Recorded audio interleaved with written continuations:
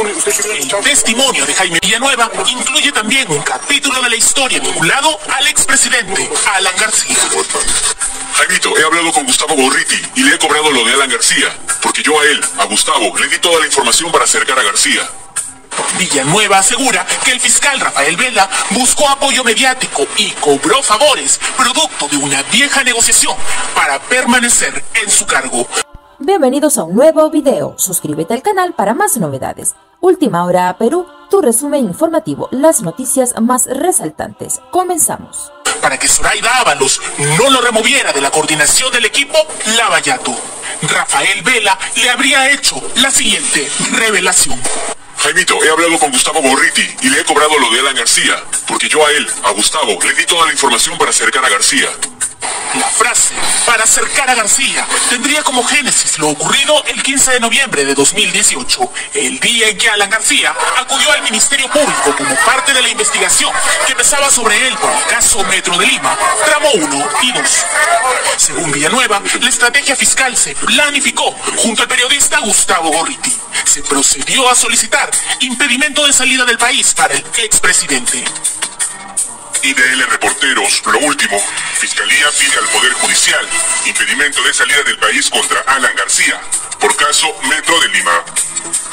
Cuando Alan estaba aquí. Gorriti saca un reportaje con los recibos del pago que Odebrecht había hecho por las conferencias de Alan García, en el mismo momento en que Alan García está en la citación con José Domingo.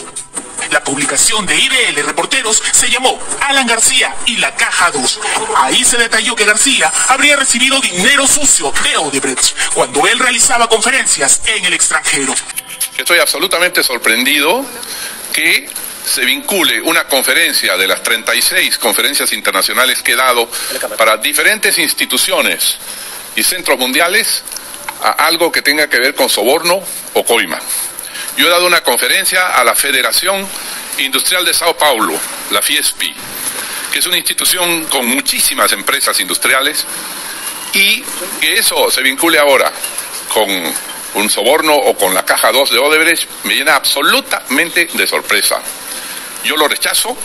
A mí me ha contratado la FIESPI a través de la agencia de contratación Espínola y no tenemos en absoluto nada que ver con ningún tema de soborno. Lo que señala Villanueva es que los involucrados actuaron coordinadamente. Es por ello que Rafael Vela, tiempo después, le habría hecho mención que le cobró el favor a Gustavo Gorriti por el caso Alan García. En el mismo momento en que Alan García está en la citación con José Domingo, José Domingo ya había pedido el impedimento de salida. Entonces, toda esa planificación lo que busca era que Alan no se vaya. Me comentó Rafael que le había hecho con Gustavo. Por eso me dijo, he ido a cobrarle lo de Alan.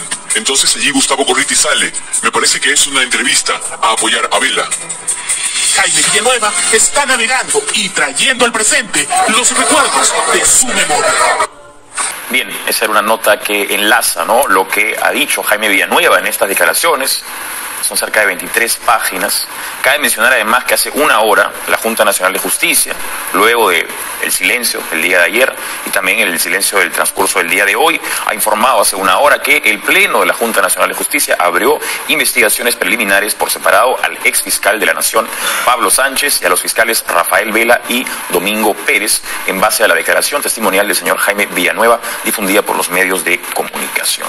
Nuestro primer invitado, Jorge El Castillo, abogado de Patricia Benavides y dirigente del Partido Prista Peruano. Jorge, buenas noches. Muchas gracias. Gracias por acompañarnos. Eh, Una de las frases que se menciona en este informe, que es precisamente que eh, involucra a Alan García, dice Jaimito, he hablado con Gustavo y le he cobrado lo de Alan García porque yo a él le di toda la información para acercar a García. ¿Qué entiendes tú por le he cobrado lo de Alan García? Según la propia narración que ahí se hace, parece que eh, Vela no tenía el favor de cierto sector de la prensa, lo tenía de alguna forma cerrado. Y eh, para ganarse ese espacio lo busca a, a Gorriti y hace lo que él dice, le da información para acercar. Entonces, ¿quién cerca? Gorriti. Gorriti tiene la capacidad de acercar. de contra. Pero por supuesto, y lo hizo. Tan así, lo voy a terminar primero antes de pasar al segundo punto. Para acercar a Gorriti. Entonces, el que cerca es Gorriti, un cerco criminal. Para empujarlo a Alan García a cualquier decisión, porque ellos sabían, porque había un sistema de espionaje contra Alan, acuérdate, encontraron una camioneta de, interferencias telefónicas en la esquina de la casa de Alan García. y había el plan Alex, yo mismo lo denuncié en televisión contra él. Entonces, este cerco es un cerco criminal hecho adrede a propósito para impulsarlo a lo que sea, porque él ya había dicho a varias personas y seguramente por teléfono también, y de ahí viene la interceptación, de que él no iba a admitir bajo ninguna condición una detención para que lo lleven esposado y con un cartel de detenido y que prefería acabar con su vida antes de someterse a una cosa así. ¿Qué, ocurrió ese 15 de noviembre de 2018? Donde vemos, eran las imágenes que veíamos este, hace unos instantes, ¿no? Esas estuvo acompañado de Alan. Claro. Es una de varias entrevistas en las cuales él rechaza eh, estas cosas que, que, se mencionan, pero un punto que es central. De repente, Archivo tiene la, la imagen. Muerto Alan García, el día 17 de abril, el mismo día, sale Gorriti y dice una barbaridad. Él dice, no me imaginé, estoy tratando de acercarme a su versión, que esto iba a pasar, de haberlo sabido, hubiera pedido una tregua. O sea, hubiera dado una tregua. ¿Tregua? O sea, Gorriti estaba en capacidad de dar una tregua si él mismo no era el organizador del cerco sobre Gorriti, por ejemplo, hay distintas personas, incluido el señor Glatzer Tueste, que dice hay una burda campaña de prestigio contra Gustavo pues. Gorriti, Pero además de ese señor, hay personas que están tratando de defenderlo, o al menos desinflar la importancia que puede tener ese señor. Escuchaba yo hoy día a un conocido youtuber que decía el señor Gorriti no tiene programa de televisión, tiene una página web, en un mundo donde ya la gente no lee. Entonces él criticaba que se estaba endiosando a alguien. por la boca él dijo, de haberlo sabido, hubiera dado una tregua o hubiera pedido una tregua. Creo que eso está clarísimo.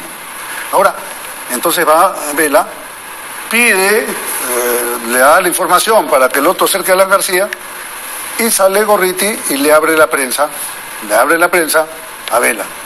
Entonces Vela pasa a ser el engreído de la prensa caviar, vamos a llamarla. ¿Cómo puede tener el señor Gorriti tanto poder sobre varios fiscales o la fiscalía? Mira, la primera alerta salió cuando en los chats, que algunos eh, lo toman a pie juntillas y otros dicen que no, dijeron que Gorriti lo tenía dominado al fiscal Villena, que ahora es fiscal de la Nación, nada menos. Dijo, lo amenazado que nunca vas a ser fiscal de la Nación si no haces tal cosa. Después, acordémonos, que llamó por teléfono a Pablo Sánchez. ¿Cómo es posible que estén allanando, que estén en, en IDL? ¿no? Y hasta acá este resumen informativo. Te recuerdo que subimos contenido todos los días acerca de los temas más importantes del Perú. Como siempre te invito a que te suscribas al canal. No olvides activar la campanita de notificaciones para que seas el primero en enterarte. Recuerda que la información es poder. De antemano muchas gracias por tu atención y será hasta la próxima oportunidad. Hasta pronto.